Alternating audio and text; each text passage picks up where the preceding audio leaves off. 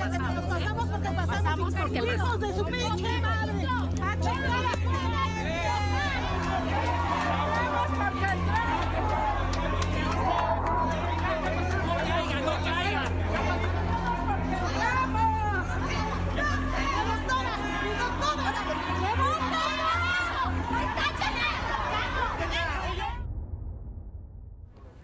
Por supuesto que algo así iba a ocurrir. Enfrentamiento en la clínica Condesa. A empujones, pacientes lograron que ingresara la directora Andrea González. Un grupo de trabajadores sindicales exigen su destitución. Aseguran que con su gestión esta clínica especializada en atención de VIH sufre desabasto de medicamentos. Sin embargo, la Secretaría de Salud niega, niega esta situación.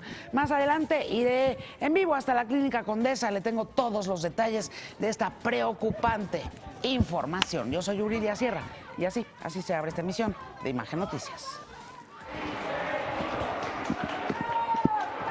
Que vean todas las agresiones de los grupos de choque que me están manejando, ¿sí? Y todo esto, todo esto es por indicaciones de Andrea, ¿sí? Andrea González. ¿sí?